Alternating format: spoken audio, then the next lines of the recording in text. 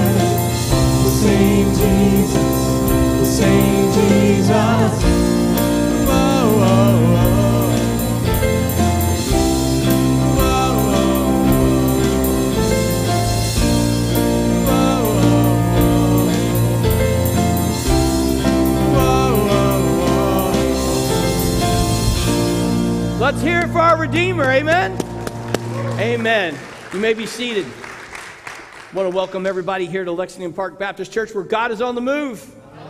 And hallelujah. All right, I feel like we're parting the Red Sea here. So, in the greeting time, if some of y'all want to fill in the middle, you, you, you can, okay? The, the lopsidedness on the sides uh, to spread it out. But I want to welcome everybody here. Glad that you're here today with us. If you're our guest here today, there's a detachable portion of your program. You can fill that out between now and the end of the service. There's a black box in the foyer by the staircase. Please place that in there. That's your gift to us today, just letting us know you're with us today. If you're online, please sign in. Let us know your last name and how many is with you. Thank you for joining us on there. And you can also follow along on your Bible app and follow the order of worship and everything from your own home. So thank you for joining us from there too. Let's go to the Lord in prayer. Heavenly Father, we thank you for this day. We thank you for your many promises. We thank you that, I mean, we just sang about you are the same Jesus. You are the same yesterday, today, and forever. Lord, you will never stop your promises. You'll never give up on your people. And we can come in here today, Lord, knowing and trusting you completely.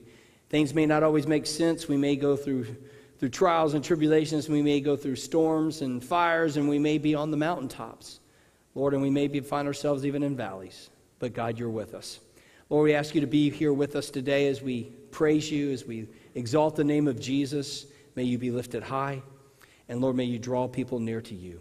We pray this in Jesus' name. And all of God's people said, Amen. Listen to the word of the Lord.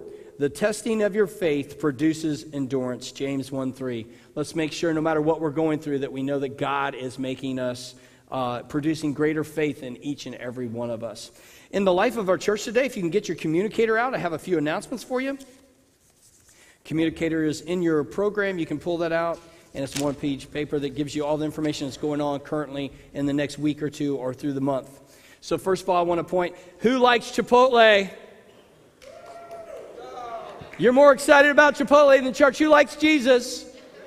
All right, okay, I'm just making sure. Chipotle's good though, all right? So listen, Chipotle fundraiser is March 5th from 4 to 8. You need to let them know you're there for the Lexington Park Baptist Church preschool and a percentage of what you buy that night will go back to our preschool ministry that we run down uh, through, through, the week. And we have like 75 students this year. It's amazing.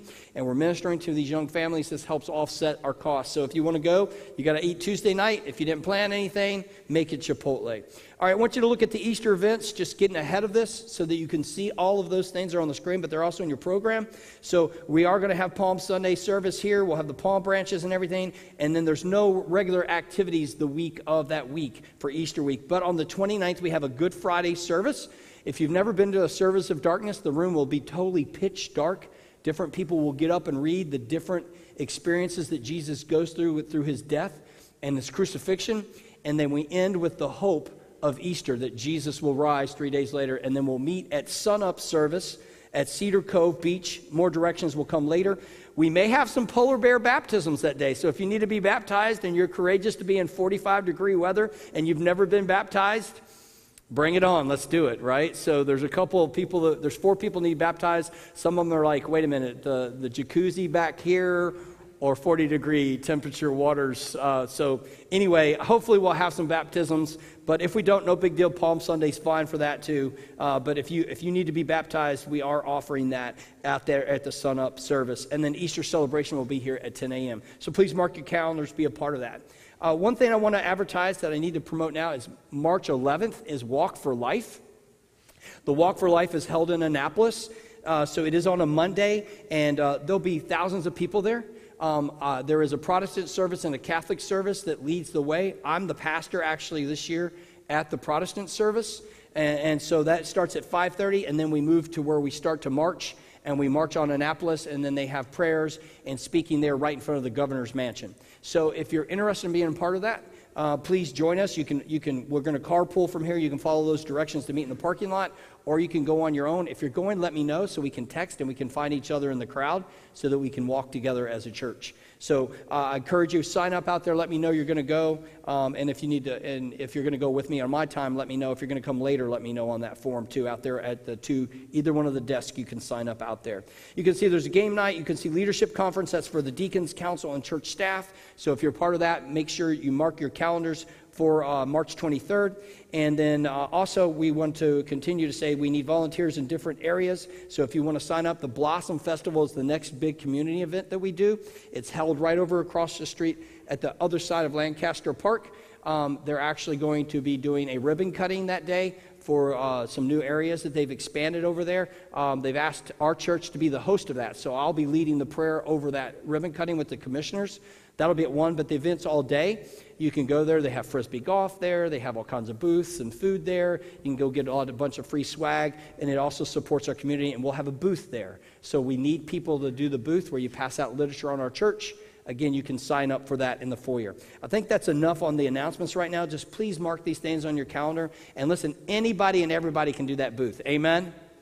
All right, even if you're an introvert, you can pass somebody a piece of paper and go, Here, come to our church right? Or you can do it like Sandy would. Hey, I'm so glad to meet you. How are you doing? Would you please come? Our church is right over those trees. I can do a tour right now for you if you'd like. So you can go any. Yeah, yeah. See that? Yes. I'm pretty close. You would do that too. You don't know. Yes. Now, Dave, he would do the introverted conversion. Yeah, that's, that's yes, that's why you're a team. So I want to encourage you to be a part of that, though. It's important to get a positive message out with the gospel and about our church and support our community as we do that. So, with that, let's stand and greet one another. Tell somebody you're glad to see them here today.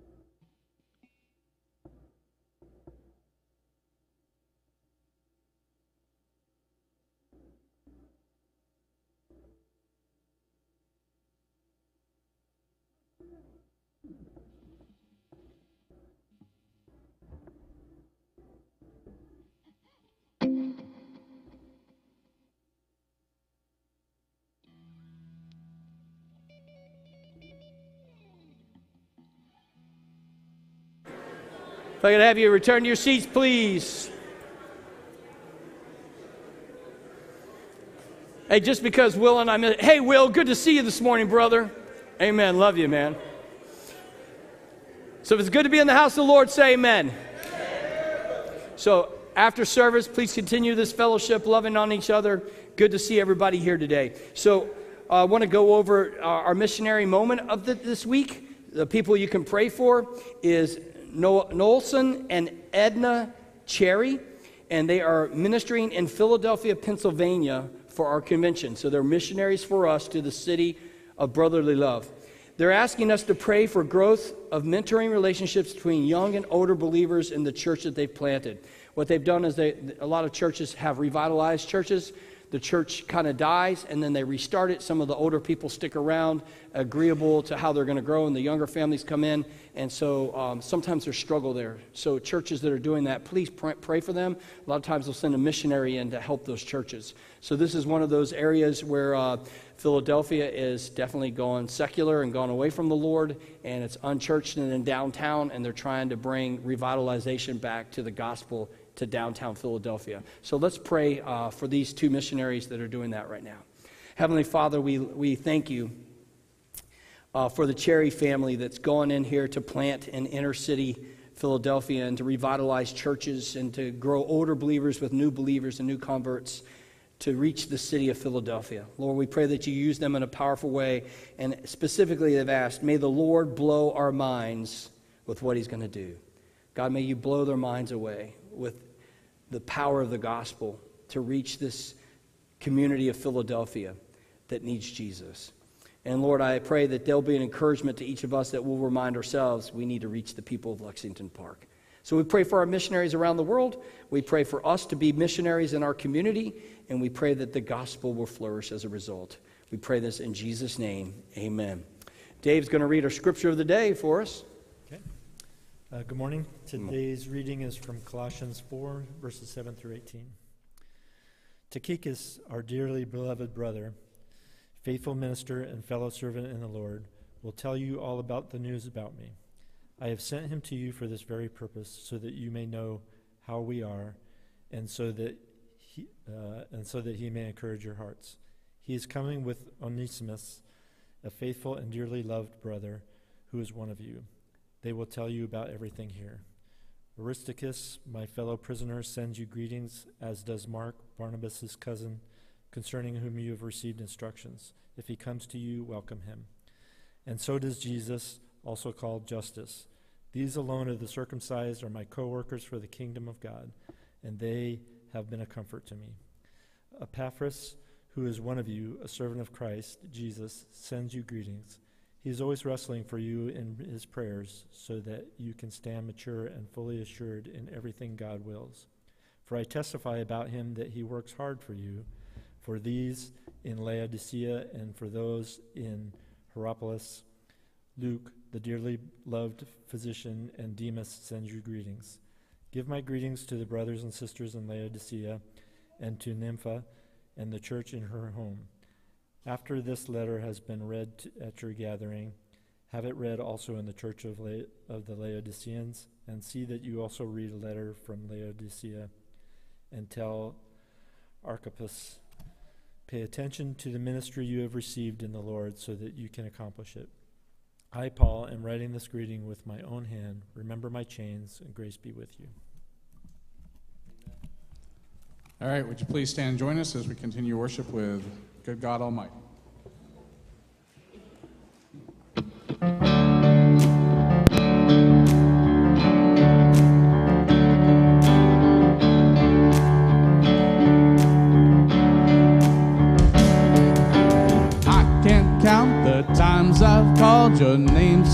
Broken night. You showed up and patched me up like you do every time I get amnesia Forget that you keep coming around. Ain't no way you'll ever let me down. Good God Almighty, I hope you'll find me. Praising your name what comes. Cause I know where I'd be without your mercy. So I keep praising your name at the top of my lungs. Is he good? He's good. Is he God? He's God. He is Good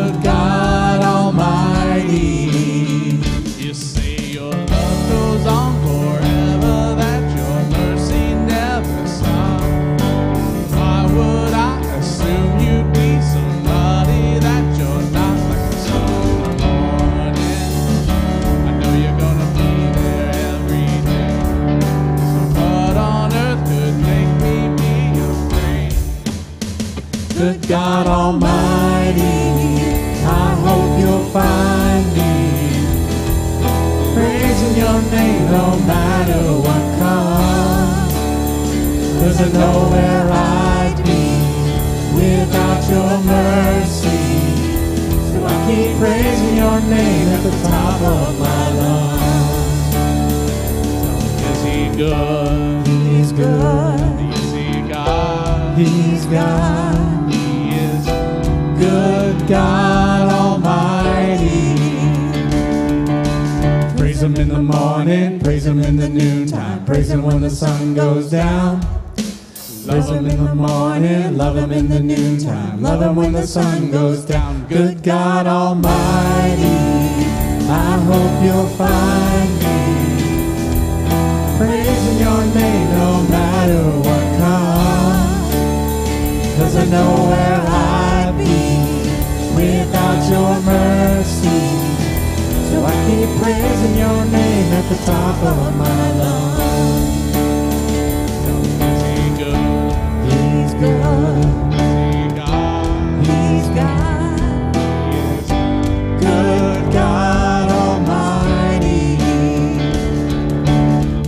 In the morning, Jesus in the noontime, Jesus when the sun goes down. Jesus in the morning, Jesus in the noontime, Jesus when the sun goes down.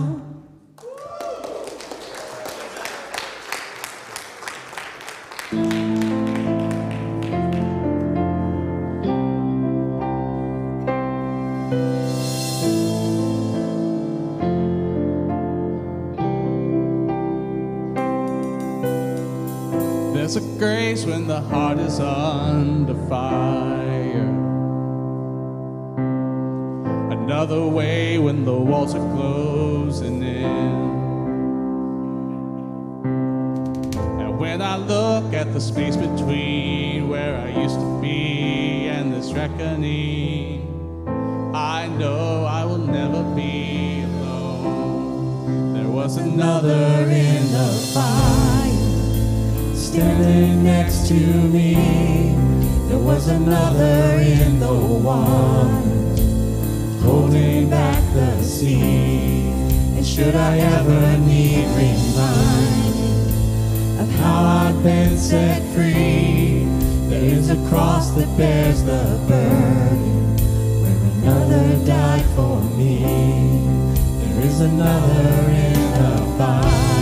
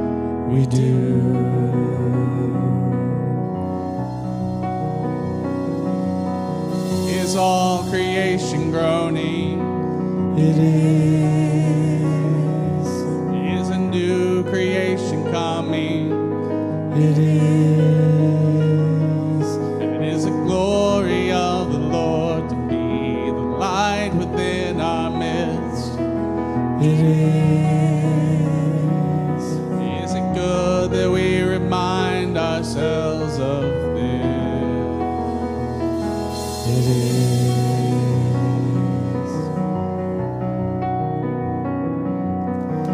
anyone worthy? Is anyone whole? Is anyone able to break the seal and open the scroll? The Lion of Judah, who conquered the grave he is David's root and the lamb who died to ransom the slave. Is he worthy? Is he worthy of all blessing and honor and glory? Is he worthy?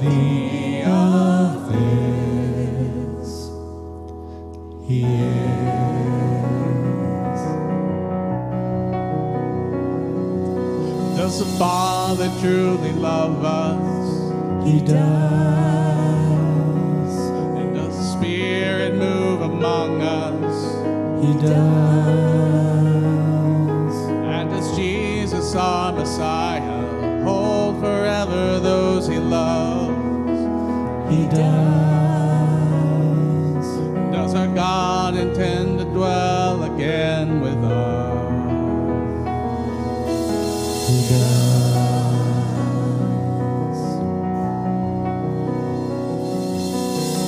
Is anyone worthy? Is anyone whole?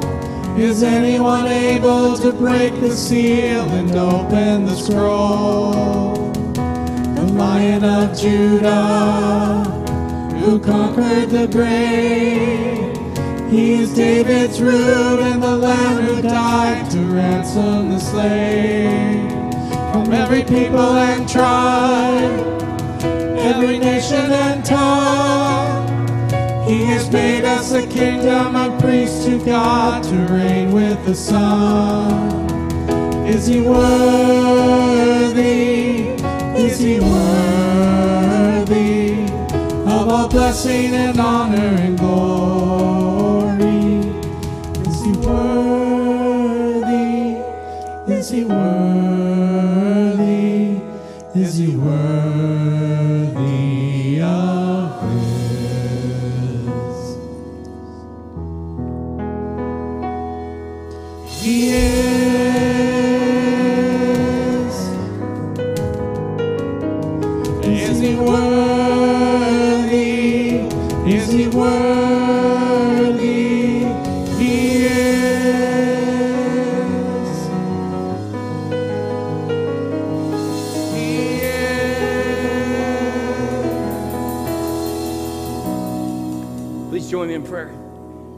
Heavenly Father, we ask you just to inhabit the praise of your people right now. Be here as you've heard us exalt Christ. So we've declared how worthy he is. Lord, we ask you just right now in our lives to, to acknowledge him as the one true living God, our Savior, our Lord, our brother, our master, and our King. May we bow our knee to him today and give you, Jesus, are all. In your name we pray. Amen. You may be seated.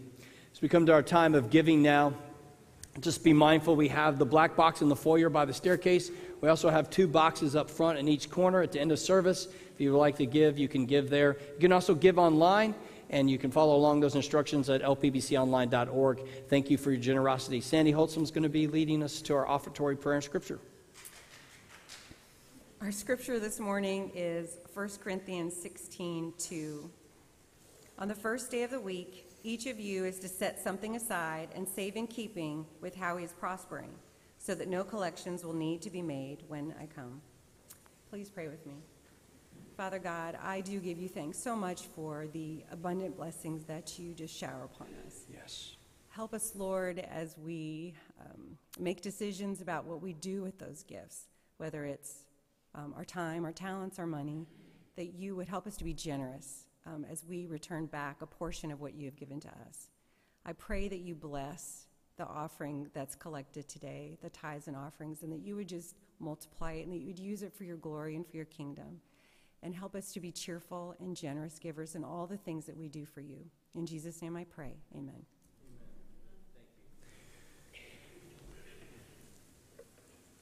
These past two weeks, the, anybody who gets assigned to sing a special gets sick.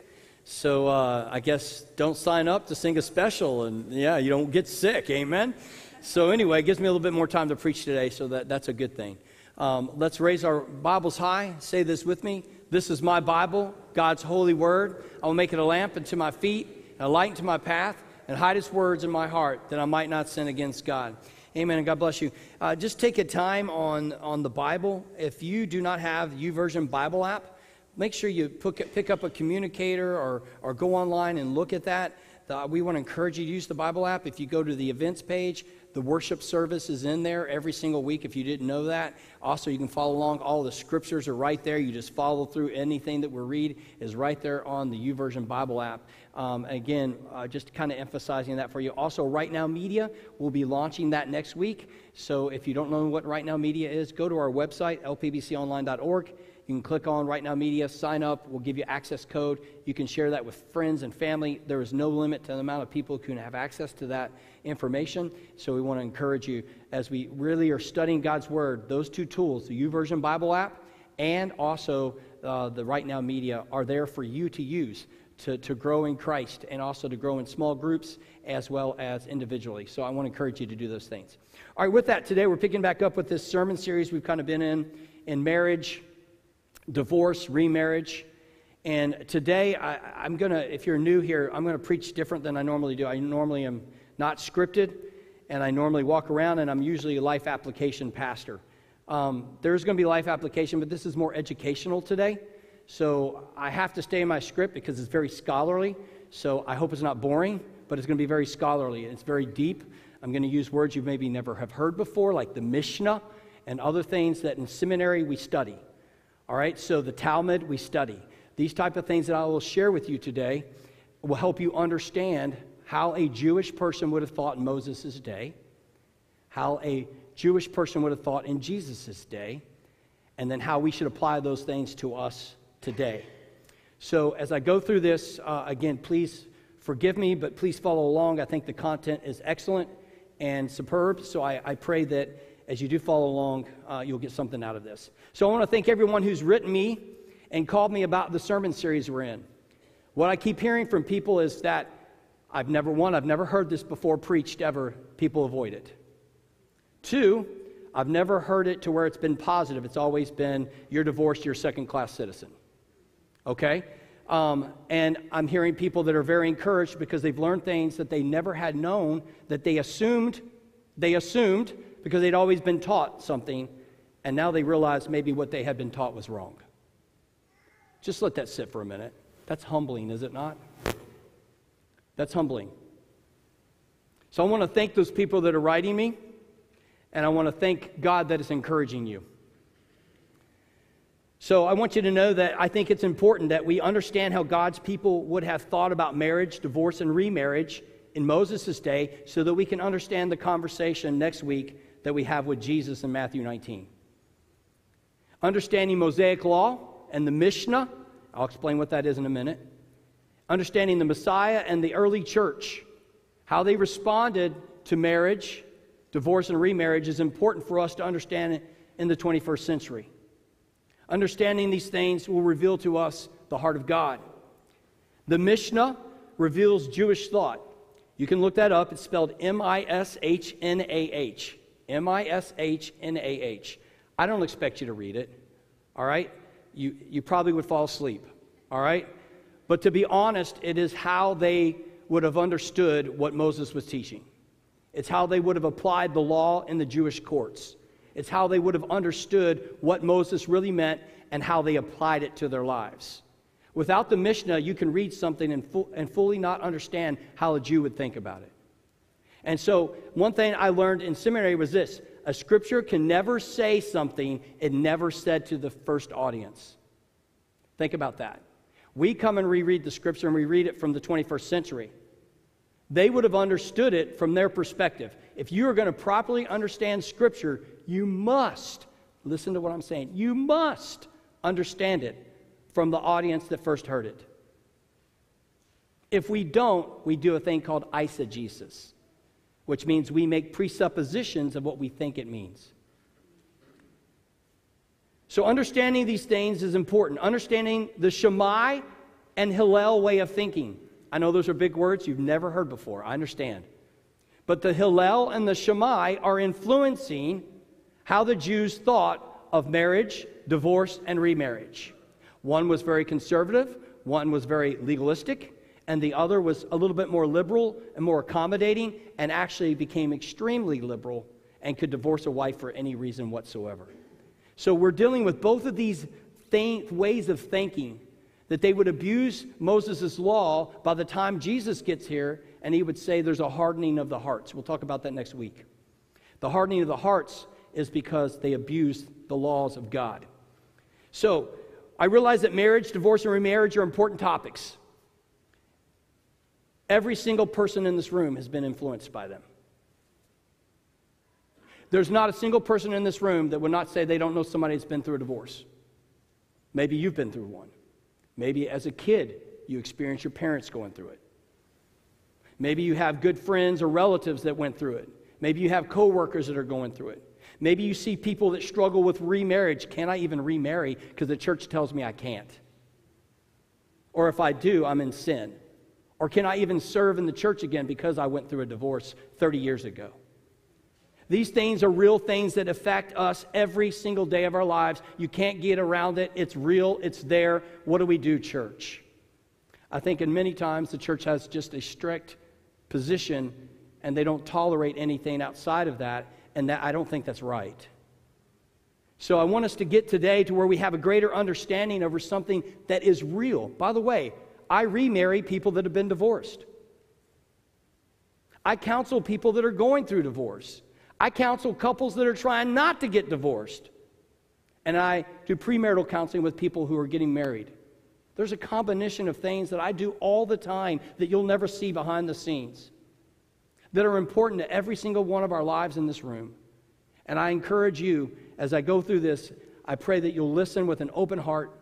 Those that have the ears to hear, let them hear what the Word of God will say today. The church has not always gotten this right. When I say church, I want you to understand this. I'm talking church at large, not necessarily Lexington Park Baptist Church.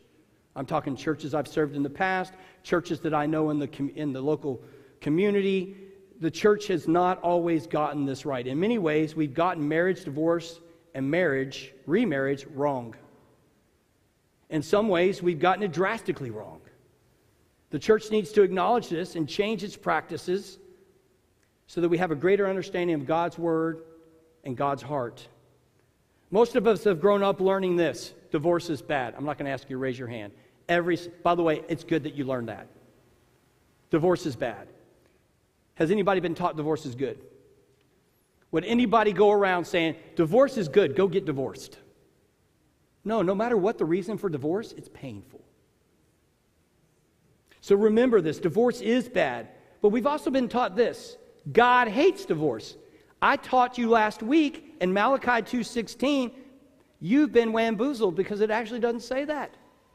Listen to what the word of God says in the CSB, Malachi 2:16.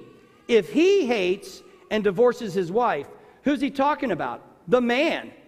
If the man who's married hates his wife and divorces her, then guess what? The God of Israel says this He covers his garment with injustice. That's when I used that duct tape last week. It's violent, it rips apart, it's unjust. And a man is abusing the laws of Moses to, to, to divorce a woman, and God calls it treachery. It's treacherous to hate your wife. Gentlemen, and wives, it's hatred, it's hatred, it's treacherous to hate your spouse. We're supposed to love them. Love God and love one another. We should love our spouses. So God is opposed to that behavior. So don't anybody think that this is justifying divorce. God does not like it, but we get this idea God hates divorce. It's stuck in our head from the King James. And then we can't remove ourselves from that. And therefore, that then plays out to this way. Then we treat people who've been divorced differently. Who in here can say and deny that does not happen in the church? It has. That is never God's intent. That is not God's heart. So we've grown up with this, and if we're not careful, we act treacherously then against others that have been through a hard time in life, that are trying to put their lives back together, and we treat them differently. It is true God doesn't like divorce, but He doesn't hate those who have been divorced. Do you understand that? We need to separate those two things. So God does not necessarily, He doesn't like divorce, but He doesn't hate the person that's been through divorce. God loves people. In fact, that word in Malachi for hatred means to hate a person. Does God hate anyone? You can, this is class participation. Does God hate anyone? That text cannot be from God then. But a man can hate another. We can hate people and in our hearts treat people differently, including our spouses. And that's the whole point of Malachi. So it is true that we need to deal with this. Too many of us have faced the scorn from within the church because of divorce, regardless of the reasons. As a result, some have carried guilt instead of receiving forgiveness. I want to go slow through this. I know some of you are carrying guilt instead of forgiveness. I know some of them been judged instead of embraced. I know some of us want to know what to believe. I hope everyone wants to know that today.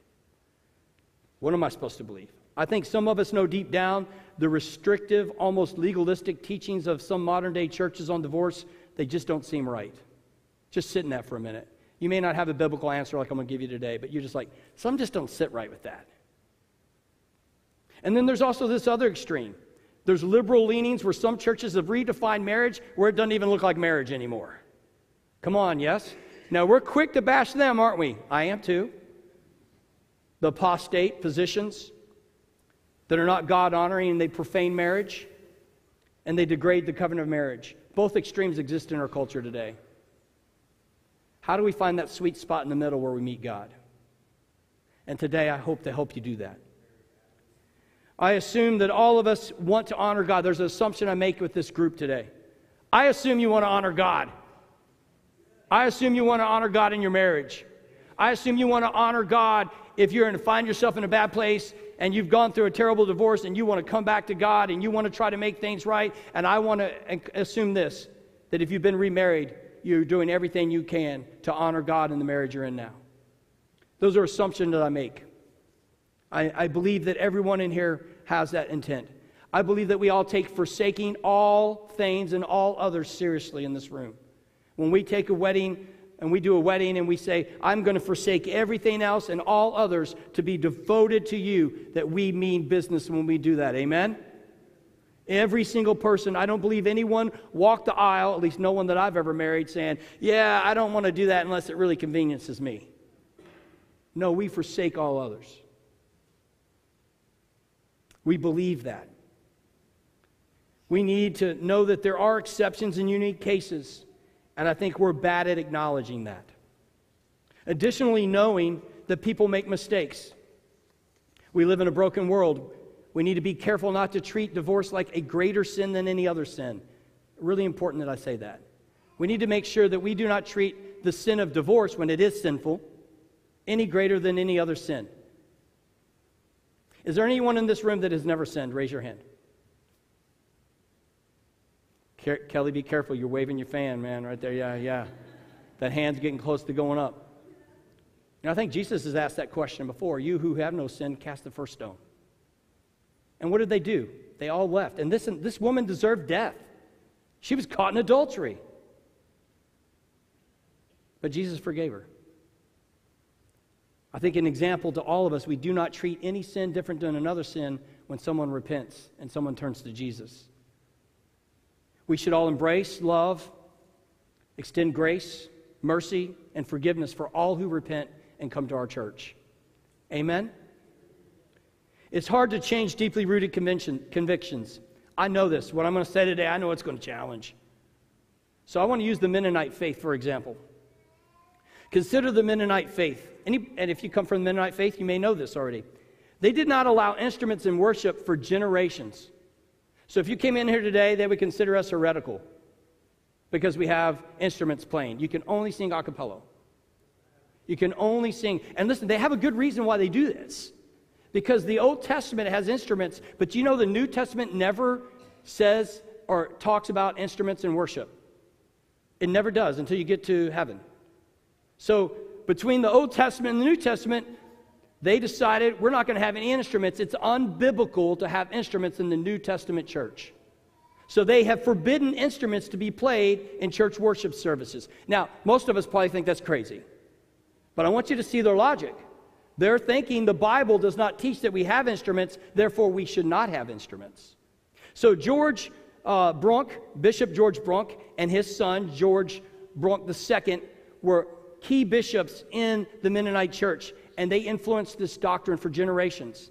The Brunk descendants recently felt compelled to apologize to the entire Mennonite faith on behalf of their father and grandfather. Listen to what they wrote in an official capacity to the church. It is often later generations upon whom the responsibility falls to apologize for the sins of the fathers. Wow. Could you imagine grandchildren and children later on in the ministry acknowledging that their father or grandfather, who is held in such high regard, got it wrong? And they asked for forgiveness. They apologized to the entire denomination. Listen, the church has done this on other things. Southern Baptist, we got race wrong. Even to this day, racism, we get it wrong both ways. The church needs to do better. Amen? How about this? I know people in this church that were forbidden to marry initially because they were interracial marriages. The church was wrong. The church was so wrong. Roles of women in society. The church was wrong. Well, that's a different issue. That's the liberal. I'm just dealing with, with good intent. But we were wrong. We should acknowledge these things. We should acknowledge that, hey, I agree, the sins of my forefathers, they got it wrong. Doesn't mean I hate on the forefathers, doesn't mean they weren't good people. I don't agree with doing that. All right, but I agree with saying, look, they got it wrong. We need to get it right. And so these happens in every generation, I believe, where we need to make a decision on these type of things. On this issue of marriage, divorce and remarriage, I want everybody to listen to this part. I can't say with 100% accuracy that I have this right. But I can say with this, with 100% confidence, that I've done my best to understand this, present it to you today. I will also tell you this I believe that good people can differ on this topic. I believe that sincere believers can have different opinions. Some will follow what they have ever always been taught their entire lives, and no matter what I say today, I won't change you. That's not my job, that's the job of the Holy Spirit. That's the job of the Word of God. It's the job of every believer here today to listen to what I'm going to present to you and to see and go check it with the Word of God and acknowledge that I see what Pastor Chris has taught and I agree with it. I may not fully agree with it, but I will tell you this I'm rightly dividing God's Word. That is my job. And I want, if you know me well enough, I take that extremely seriously. My job today is to rightly divide God's Word for you so that this church can be better in the future, so that we can learn from these things. And by the way, if you're new here today, because I'm preaching on this doesn't mean we have a lot of problems. It's bigger than this. It's about hearts. It's about us changing so we can reach we can reach the people around us that are hurting. It's much deeper than one issue. So I want to give you a couple books before we read scripture. Two of my heroes, Wayne Grudem. Wayne Grudem is a good godly man, divorce and remarriage in seminary 20 plus years ago. Yeah, I'm confessing that. All right. His theology book, which is about five times the size of this, was one of my primary study books that I had to study in seminary. But he wrote this little book on divorce and remarriage. I don't agree with him completely. I'm sharing a book that I don't completely agree with. But I think it shows a good example. He has changed over 20 years, and his position has changed because he realized he misinterpreted some scriptures. And so now he allows for abandonment and abuse to be reasons for divorce that are biblical. So he, is cha- he confesses his sin in here. He confesses his wrong thinking in here. And he confesses that he misinterpreted scriptures based on how he had been taught his whole life. So you can read Wayne Grudem. Um, he still has some strong positions. All right. This other guy, this is brilliant. David Instone Brewer, Divorce, Remarriage in the Church, Biblical Solutions for Pastoral Realities. I got this, I think, back in seminary, and I read it, and it was like, this has been the best book on this topic I've ever purchased. I've, I've got notes written in here, and I have to put dates now because it's all different colors. I have pink in here, I have black in here, I have blue in here. I try to use a different color every time I read it so that it's a different time period so I can see my way of thinking and how I've changed over the years. This book has radically changed my views on this thing, and it's totally based on scripture and Jewish thought. This is where I was first introduced to the Mishnah, and I want to encourage you to be introduced to the Mishnah too. So, anyway, I'm going to leave these books up here. If anyone would like to come look at them after service, you can. I have more books than that, but those are the two I wanted to highlight. So, anyway, if we're honest, I just want you to think of this. This is a very complex, very complex topic that applies to all of us. It's nearly impossible to do an exhaustive study. It's impossible. In fact, the more I start digging in, the more opinions you get. People are all over the place on this. I mean, good scholars. I love John Piper, can't stand his position on it. Love John Piper, though. He will not even remarry someone that's been divorced for no reason. All right, that's his position, though. I respect the man. And then you have other people that have almost no standard at all. So we need to find that sweet spot where love and grace and forgiveness come to all who repent and turn to God. The scriptures provide us with guidance. It's not always easy to understand or apply. God didn't give us this neat little package and say, here's all the answers. Sometimes it's spread throughout the entire Bible. That's why we that's why it's important to have systematic theology. We systematically look at the scriptures to form our theological positions. It's important that we realize that marriage is a covenant with God, not to be broken by man. I want to say that again so nobody accuses me of heresy. Marriage is a covenant with God that is not to be broken by man. God is the one that sets the standards when it can be broken. We should always focus on the principle of the covenant we should always turn people to try to work out their covenant. We should always try to make people understand you need to work your marriage out. And if anybody's in here and you've been married long enough, it is work. But we also need to know that there are permissible reasons and exceptions and unique cases that are specifically in the scriptures. Now, we should not start with them to form our theology. Everybody follow this. We don't start with what's permissible, what's the exception, or what the unique cases are. We start with the principle, which is marriage is intended to be permanent. Amen. That is what we all strive for. That is what we all pray for. That is what we all do when we say, I do. We must allow, though, to have and know these exceptions and realize that Jesus himself actually gave some exceptions. We need to focus on the covenant and then other things. Listen to what Jesus says in Matthew 19 6. So they are no longer two flesh, but one. Therefore, what God has joined together, let no one separate. I want to, this is important. What God has joined together, let no one separate. No man. Who sets the standards for separation? God. We read that, though, and this is what we say. We say this at weddings all the time. Till death do us part. You may have had that in your script. You may have had that in your marriage vows. Do you know it doesn't say that? I just read it for you. It doesn't say till death do you part. What it says, what God has put together, let no man put asunder. Let no man separate. Only God has the right to do that. General rule one marriage is good, marriage is a covenant, marriage is permanent, marriage is about faithfulness. It's two flesh becoming one. And everybody should say amen. And that's the marriage morality that we should all have. That marriage morality is good. We should teach that to our kids. We need to teach that to each other. We need to encourage one another in fulfilling those things. General rule two God has established reasons for marriage covenant, and He's also established reasons for separation, exceptions, permissions, and unique cases. Over the next three weeks, we will study those things and discover those things together. Deuteronomy 24, 1 through 4. Get your Bibles out. This is where we start. This is where we're going to dig into the Word. We're going to look at Exodus 21 and Deuteronomy 24. Both are going to be dealing with marriage, remarriage, and divorce. They're all going to form the ba- background in which Jesus' conversation next week in Matthew 19 will come from. You have to understand this to understand what Jesus is doing in Matthew 19. If you do not understand De- Deuteronomy 24 and Exodus 21, even, you have the wrong backdrop for the question that Jesus was asked. And you have, you'll walk away with a totally different perspective of why Jesus said what he said. Let's read 24, 1 through 4.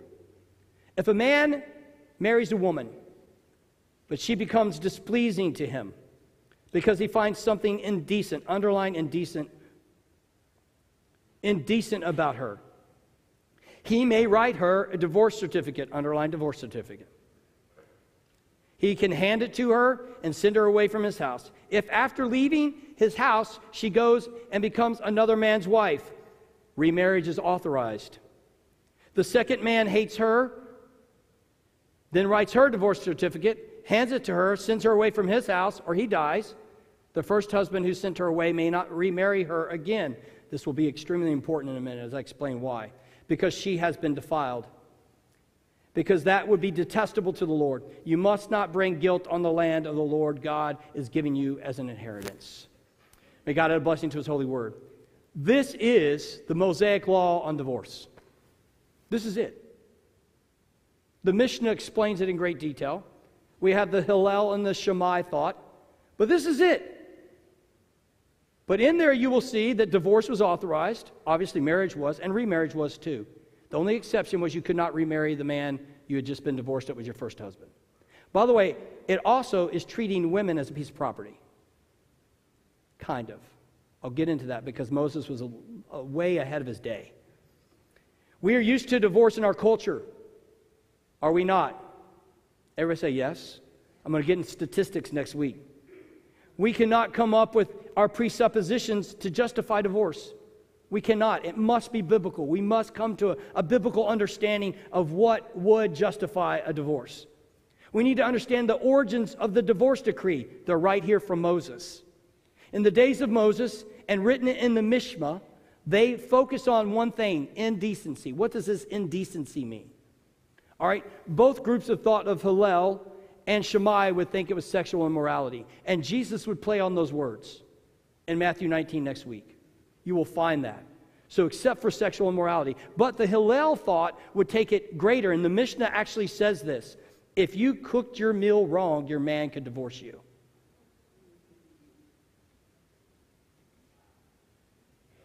This was a way of thinking. This is what Jesus will deal with in Matthew 19. He's not dealing with the Shammai thought. He's not dealing with the fact that divorce is acceptable in certain circumstances. He's dealing with this view of thought that has said, if I want to marry her for any reason, I can. Women, how's that make you feel? Thank you. Yes. Like a piece of property. We're going to get into that. Moses is actually protecting women here. But when you look at the Mishnah of this indecency, and these are the two words you're going to hear come out just cause and any cause.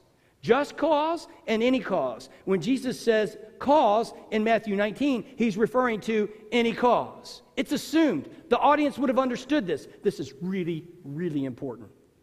I understand not everybody can go to seminary. I know not everyone cares and does all the detailed study that I do. You can check me on this. Google Hillel and Shammai.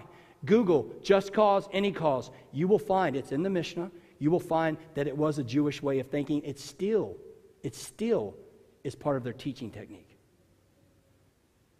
Just cause and any cause.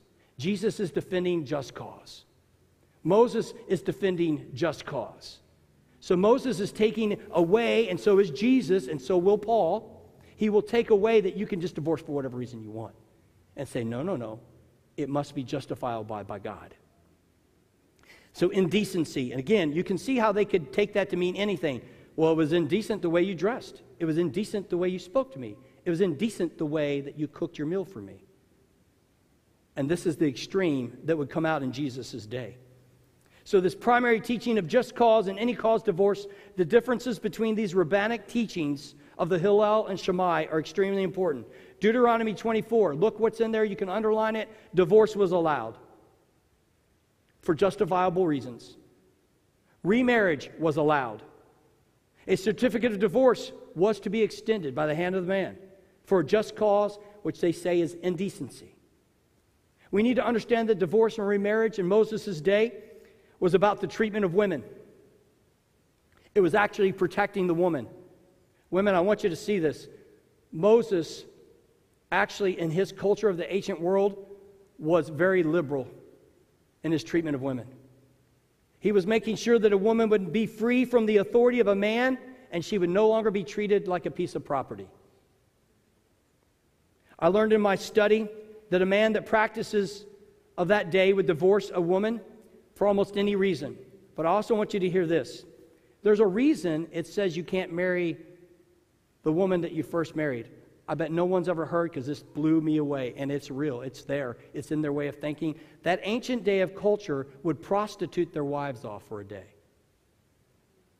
Not Jewish, but Moses was making sure that the ancient world would not influence the people around them, would not influence this. This is why Moses says, give a divorce decree. You can't go back and remarry your first one. So, in other words, you can't prostitute your wife off and then remarry her. Wow. You can't treat her like a slave or a piece of property. I know that's sickening in our minds, right? But the world back then did that. By the way, there are still some cultures that practice this. Blew me away too. Not of our faith, but of other faiths. There's also polygamy.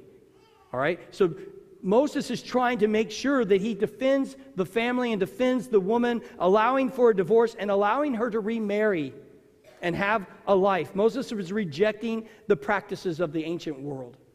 The Mishnah contains all the oral traditions and the practices of the Jewish faith. It'll have many of these things of just cause and any cause that I'm talking about. You can go read it there. You can Google it. You can look it up. I'm, I'm, I'm, look it up. Go ahead and do that. You'll see that, man, Pastor Chris is right. This is how they thought. The Mishnah does say that. They did think that way. This is how they interpreted the law of Moses. If you want to understand how the law of Moses played out, you have to understand how the Jew would have thought. You have to understand how the rabbinical teachings had developed over the years to the days of Malachi that I preached on last week, and then to the days of Jesus that will come 400 years later. They still are messing it up. And Jesus will confront them in, Ma- in Matthew 19. The Mishnah contain, contains all the reasons that I've said for Deuteronomy chapter 24 and the background for Matthew 19 for next week.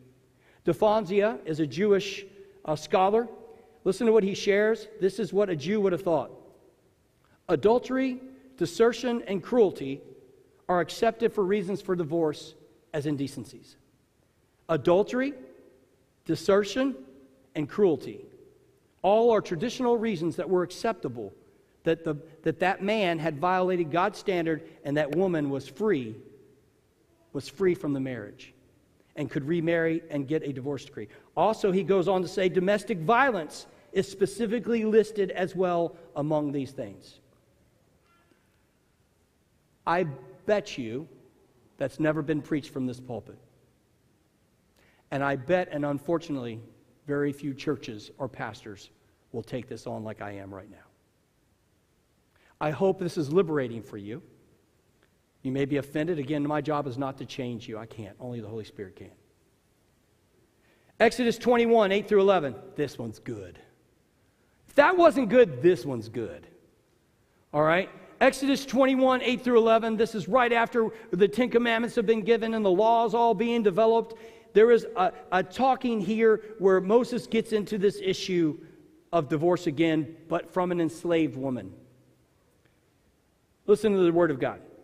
If she is displeased, displeasing to her master, who chose her for himself, then he must let her be redeemed. He has no right to sell her to foreigners because he has acted treacherously towards her. Why? Because he's hated her. Or if he chooses her for his son, he must deal with her according to the customary treatment of daughters. If he takes an, and I know we don't think that way, I know that, that sounds gross. If he takes an additional wife, he must not reduce the food, clothing, or marital rights of his first wife. If he does not do these three things for her, she may leave free of charge without any payment. The free there is a freedom from bond. So, this is about enslaved women. So, I want you to understand the backdrop. There's a, there's a teaching technique that they teach you in seminary. It's, it's called a hierarchy of interpretation if something is usually given to a lower level citizen in society or in that culture or that faith, those same principles would have applied to someone that's of hierarchy or higher in status. Would a Jewish woman be of higher status than an enslaved woman in the first century, in, the, in their culture? Everybody say yes. So this higher, now I, there are some people, John Piper's one that disagrees with me. Uh, can I confess this? I mean, there are people that will say, you can't do that. But to me, this makes sense if it's good enough for a slave woman, it would be good enough for a higher ranking person in society. And so look what he says here. This text is about enslaved women. Again, this hierarchy. If a slave could be treated with such dignity, would not a Hebrew woman be treated the same way? Would not a Hebrew woman be extended freedom from that marriage bond if her husband treated her this way? I believe the answer is yes. You can figure that out on your own. You can disagree with me. Again, I told you, good people can disagree. But I believe if it was good for an enslaved woman, it would be good for a Hebrew woman. I would say it's still good for a Christian woman. Dignity is something we need to establish with women. Some debate whether this was extended to the hierarchy, but at least with the slave woman, she was treated with dignity. A slave woman could be free from someone that treated her improperly. It could be we cannot just discard our wife. We cannot humiliate her. It's unthought of. So Jesus or Moses is saying you can't do this. You can't humiliate her. You can't make disgrace on her. You cannot discard her. If you do, she is free of you. And she's not a piece of property that you can now sell off. I want you to understand that's what they would have done. She's a slave. I can just trade her. I don't want her anymore. She's no good for me. So listen to what the three things this way of thinking must apply to all of us. One, it says here, I love this word. This is not an Old Testament term. It says she can be redeemed. She can be set free. She can be redeemed. Let her be redeemed through another marriage where a man will treat her right. All right, so redeemed, want to be redeemed. Also, we must have faithful treatment of a person. We must treat each other with dignity. Sometimes we treat our spouses with less than dignity, even in our culture today. We not, may not be able to sell women off and stuff like that, and we know that's all wrong, so don't take that like I meant that as a justification for that. We understand their culture, though, and then we need to look at it in context of where we live. We need to be faithful. We need to treat the women in our lives respectfully, with great dignity, and we need to make sure that the redemption of Christ applies to all of us. And in marriage, we are partners and companions in a covenant. Amen? Three grounds, though, here in Exodus 21. If this woman was not provided, now I know we can, don't get into this. Well, where's the line, Pastor Chris? I can hear it now. I don't know what it means by depriving her of clothing and food. I know she wasn't starving to death. But clearly, there's a line where there's mistreatment and she was not being fed adequately or sufficiently, and she was not being treated the same as the other women in that family.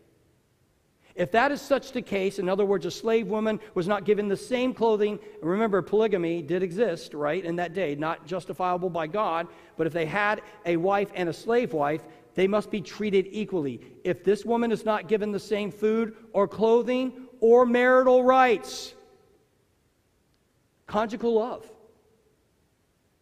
then she is free of that marriage. Look, I don't know how you can slice this or dice this. This clearly is there.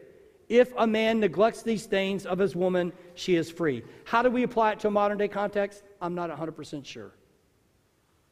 I told you I don't have all the answers. But I know this is the backdrop of Mosaic law. So clearly in Mosaic law, then, we have adultery, we have abandonment, we have neglect, we have lack of conjugal love, and I would say abuse clearly fits in there. I agree with Grudem. Clearly, abuse or domestic violence would be part of the Mishnah and the way of thinking. Exodus 21 definitely builds upon this. Many scholars believe this also establishes grounds in which a man can abuse, cannot be allowed to abuse his wife. I believe that is good practice and a good principle. And I believe that those things have happened. Women, I do believe there is redemption for you. I will never look down upon you if you come to me and I know that's why you went through a divorce. Amen? And men, likewise, if you've been abandoned as well. Mosaic law allows for remarriage in Deuteronomy and Exodus, so should we. It was encouraged and it was assumed. Mosaic law protected the women and their families in that day. So, what are our conclusions in these final moments? That's a lot of stuff. By the way, to get all the hours of study that I did, to get that as neatly as I could, that's the best I can do. I, thank you. Amen. I, I am willing to discuss this with you. If you want to have a panel discussion, if you need help, because, like, I don't get it, I've never been taught that way, I'm going to refer you to the Mennonites. I'm going to ask you to change. But I'll engage this with you. We can talk, and again, I know good people can disagree. I'm looking at faces trying to figure things out. Some of you look very hardcore right now. Some of you have smiles on your face. So I don't know where you're at. But what I want you to know is that the background on this, we have not been taught this in our church. We have not, I don't think we've really, I think people avoid it and just say, divorce is wrong, boom. And then we don't really talk about it. We don't really deal with it. We don't really discuss what was, what was the thought of that day and what's Jesus think about this. Or then we just hear one little thing that Jesus says and we blow it out of context. That's eisegesis. I've been teaching you that. That's eisegesis. So, this may be the first time you've ever heard this. I get you. This might be big for you. I don't know that you can look at Deuteronomy 24 or Exodus 21 any differently than I have concluded with you. It's right there in black and white, slapping you in the face. Now, we also need to understand the Mishnah and how they applied it. And you can go read that on your own, too. For many, it's the first time you've heard this biblical position, and it will challenge deeply rooted traditions. Notice what I just said deeply rooted traditions and thoughts that you have been taught with good intent. I'm not bashing any pastor that's ever stood in this pulpit or any other denomination that has different conclusions. I'm not going to say, hey, Grudem is better than John Piper, or I'm not saying any of that. I love those men. They're good scholarly men. I need them in my life so that I can really look and study because I studied those men intensively for this sermon to form my conclusions. We must confess that we have drawn many conclusions based on limited understanding of the scriptures and Jewish thought. Sometimes we do that a lot, Christians. I could give examples, I won't because I don't have time to go into that. There's a lot of things we believe, and I'm like, I don't know that that really means that. You can go Google that too on stuff. Crazy things that Christians believe are actually in the Bible. Yeah, I mean, you can go Google that. There's some crazy stuff, and you're like, I believe that. Yeah, you, yeah, you shouldn't. There's some stuff out there that we do believe. We must confess that sometimes we do this. Most of us have been taught the morality of marriage. I am praising the morality of marriage. I am praising the oneness of marriage. I am praising the covenant of marriage. And that is what we all should strive to have in our lives. Amen. We should not be, let's run and get divorced. No. That's not what's being taught here at all. After you've done the work of not forsaking your spouse, after you've done the work of doing everything you can, and not any sooner. You should never even use the D word. And listen, husbands and wives, don't ever drop the D word in your arguments. Amen? I mean, that is, that is just wrong. Treacherous, thank you. Divorce does have consequences. We need to understand this, even if it's for a just cause. The pain of divorce in this room, if you were a child the pain of divorce of someone that's sitting here that tried and gave everything they could to their spouse and they still left you. The pain of someone coming home and finding your spouse giving marital rights to someone else. These things happen. Or abuse. I preached, and Kathy would not mind me telling this. we give her book, we gave her book out a couple months ago. She was abused for years, you know, for, and, and was trapped. That's wrong. And God knows that. So we need to realize that sometimes divorce is sinful, sometimes divorce is justifiable, but it's always painful. Amen? No matter what, it's always painful. It hurts me when I know that you've gone through that hurt. We need to strive to have a proper view of marriage, divorce, and remarriage in a broken world because it impacts each and every one of us. I gave you my testimony. I believe I can speak to this because I've never gone through that. Every, from my great grandparents, grandparents, parents, Shaunetta's parents, I don't know divorce. But I have great compassion towards those of you that have gone through it. I have great compassion with understanding that just like in Moses' day, I believe Jesus would teach the same thing, and Paul did too. You can remarry in the Lord. In the Lord. Really important. In the Lord. We'll get to that in a couple weeks. Most in the church, I think, don't understand and have a proper view of this. Not by your own fault. I hope today this will help you begin to do that. I have done my best to rightly divide the Word of God on a complex and sensitive topic that our church can live in the freedom of Christ, that we can grow in His love, His grace, His mercy, and His forgiveness in the broken world in which we live. I hope this sermon series will change hearts and minds, not just on this topic, but in how we approach any topic. And we'll give you an example. I was walking around yesterday I'm not going to say where. And I saw some furry people. Who knows who that is? I don't, if you don't know, don't worry. Do not, go, do not Google it. Let's just say they leave a, a very unique lifestyle that's not compatible with Christianity. They think they're animals. And they live their life that way. And it gets even grosser than that, so I will spare you. But let's say one of those people came into our church. I know they would get looks. First of all, they would get looks from me too. I know, yes. That would be like, whoa, whoa, okay. So if they came in here, but let's say somebody came in here and 10 years ago they were in college and they got caught up in that movement. And they did things that they're ashamed of. And now they're in our church and maybe they have gotten married and they're being productive in society and they've put the furry stuff behind and they're now living a productive life and they found Christ. That's what I see as a person that found Christ. I won't see the furry, the transsexual, the homosexual, the drug addict, you keep the prisoner, you name it.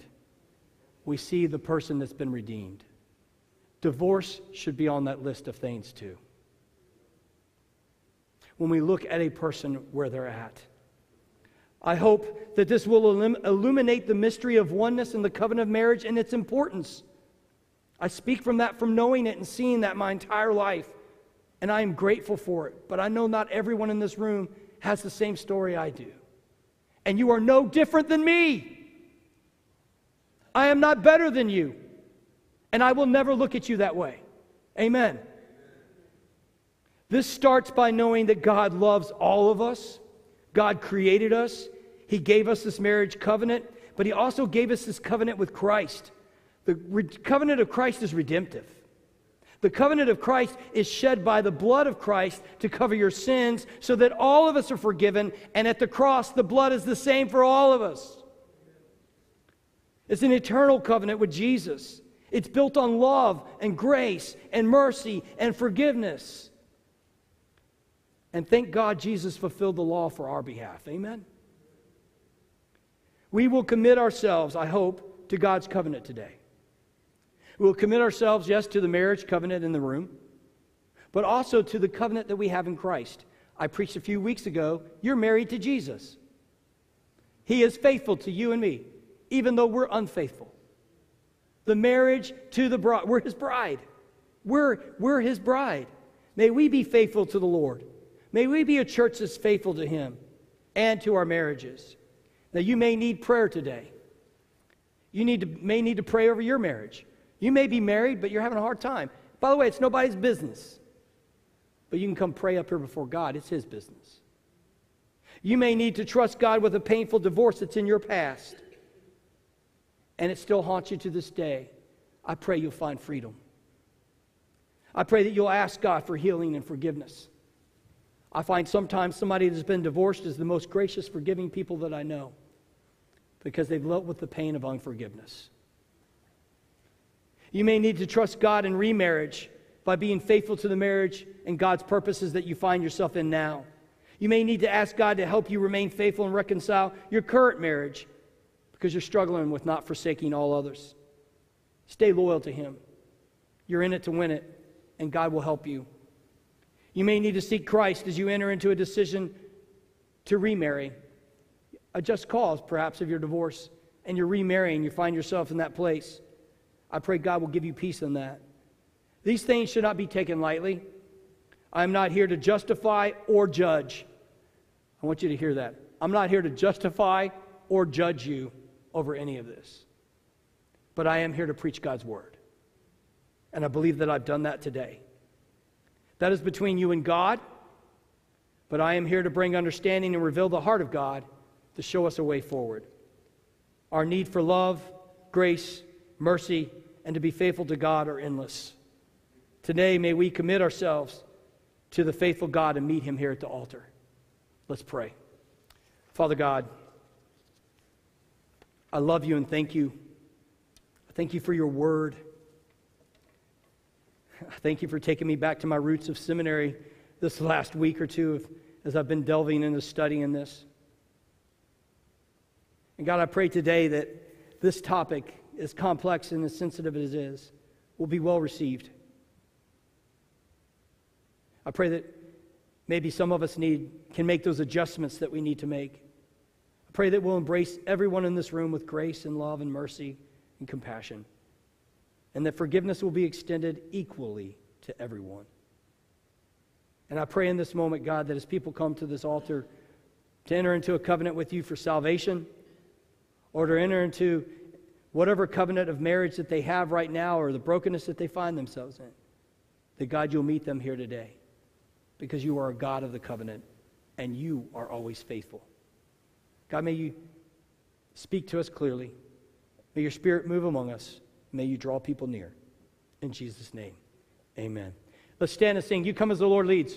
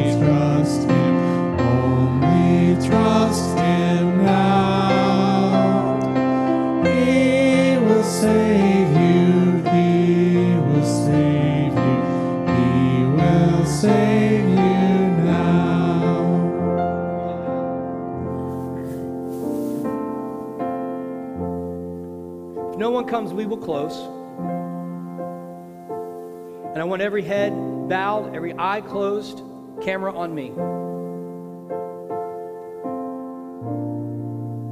If today you need prayers for your marriage, would you raise your hand? Amen. Amen. Amen.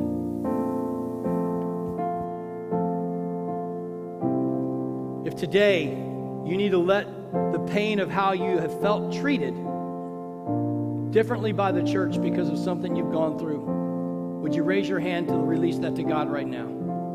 Amen. Let those hands, yes, I see the hands going up. Thank you. Now, this is the hard one.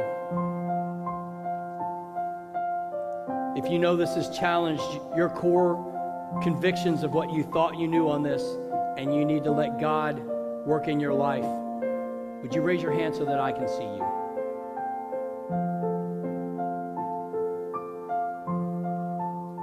Okay, I'm going to assume then everybody got it. Father God,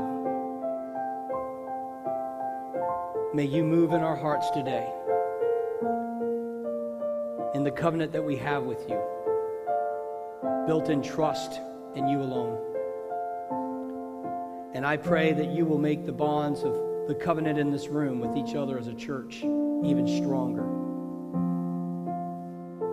As we carry our crosses with each other, and as we bear with one another, and as we love one another, as we forgive one another, and as we hold each other in this covenant that you've given us under the blood of Jesus, where we are forgiven, have received your grace and your mercy and your love. Lord, I pray the same for our marriages. Lord, may your, may your blood, may the blood of Christ just redeem our marriages. May you hold us in a covenant that we'll forsake all others, that we will be devout and we will love one another as we all see. A marriage bond will work when we love each other. Lord, teach us to love one another. Teach us to love you and teach us to love our spouses. Teach us to love one another as we trust and obey you, as we live in a covenant with you. We pray this in Jesus' name for all of us. And all of God's people said, Amen. Sing one more verse. If no one comes, we'll close.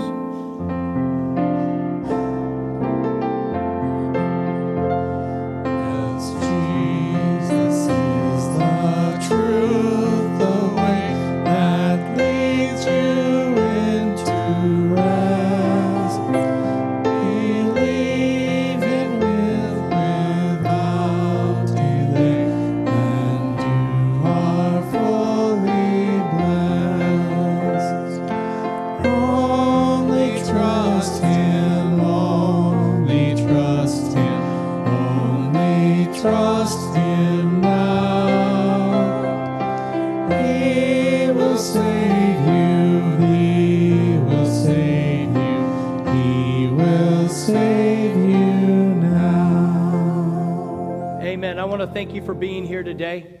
Um, I want to encourage you go look up what I preached. Go do it. How many pastors tell you to do that? I want you to go fact check me. I want you to go look at it. I want you to go look at the Mishnah. I want you to go look at John Piper, who disagrees with me. And I want you to look at Wayne Grudem. And I want you to look at Brewer. And I want you to look at these different perspectives. And I hope then that you'll come to that sweet spot that God will bring us together and move us forward on these topics of marriage, remarriage, and divorce. So, with that, we have normal services today. So, whatever's going on with the handbell, youth group, and GAP, I hope to see you here tonight. And for the rest of you, I hope you have a great week. Let's end in a blessing. May the Lord God bless you and keep you. May he cause his face to shine upon you and be gracious unto you. May he lift his countenance upon you and give you his peace. Go in Jesus' name. Amen.